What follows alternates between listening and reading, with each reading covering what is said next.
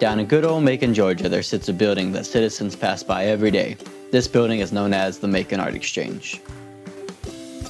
Uh, we are a group of artists. Uh, we, are supplied with this low-cost studio space, so uh, it's a collective of about 18 to 20 different artists working in different mediums. The Exchange has been open for around 20 years and has played host to many other artists in Macon. Uh, I was the first one in, um, uh, but Tony Long owns the building, so, so he was really instrumental in, in starting it. Uh, I was teaching a drawing class at Mercer, and he was in one of my classes. It was a, a night class, and we were sitting around after uh, class one night, and he said that he had an old building that he could set some artist stuff in, and uh, was wondering if I was interested in the space. So I came down here and looked at it and, and fell in love with it. We have uh, printers and painters, sculptors, uh, uh, musicians, filmmakers, a lot of different disciplines. Over the past couple of years, I've kind of concentrated on, on letterpress work, posters, books, and broadsheets, that kind of stuff.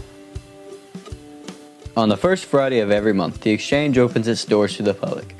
This event is for the showing of artwork and a great time for the public to come meet and mingle with the artist.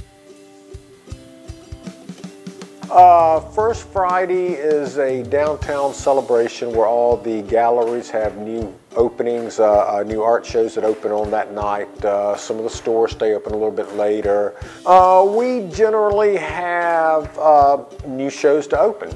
Sometimes our musicians play. We have a group of reggae musicians and a group of bluegrass musicians, and they will sometimes play at the openings.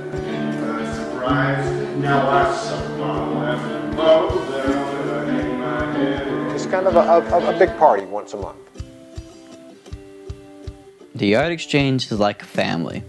All the artists support each other, and through this, inspiration is born. They have all become friends and a tight knit community. They all get along together, and they all create together. Both uh, Heatherly Wakefield and Eric Wakefield, I have an extensive collection of their work.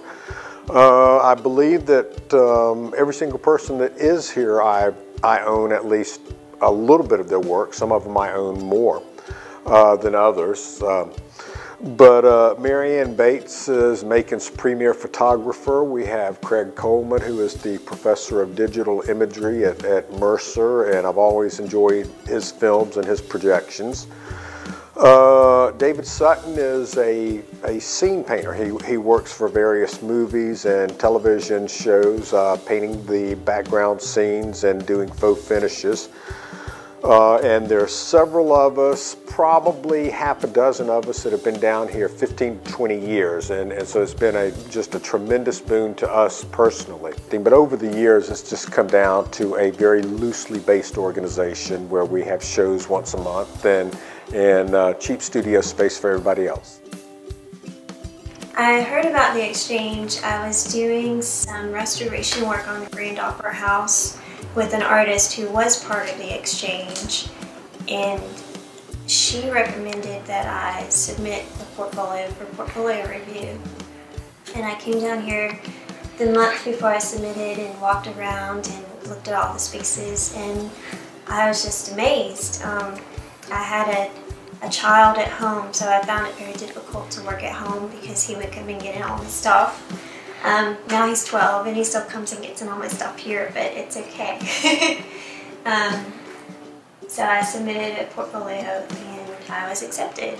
Um, lately I've taken to setting up some shows in the future, um, so that's exciting to have the opportunity to bring new artists in here to find out how cool this space is. We're doing an art exchange at the Arts Exchange, and it's where artists are going to bring pieces that are in progress and exchange them with other artists and then do a collaborative piece with someone else and then we'll have a show of those pieces in June. The best thing about it is that I can I can get as messy as I want to get and release whatever it is I'm doing in here. I can play my music as loud as I want to, for the most part. You know, I'm, I'm nice to other people. But, and, um, you know, it's just, you have a bit of freedom in here to express yourself. And that's, that's what I find so, um, so refreshing about this place. The Exchange is the most awesome place to see art in Macon. That's that's my pitch. It's it's the most awesome place to to discover art and the element of art in Macon. You, you get to see it as its spark before it turns into something bigger, and that's where creation happens.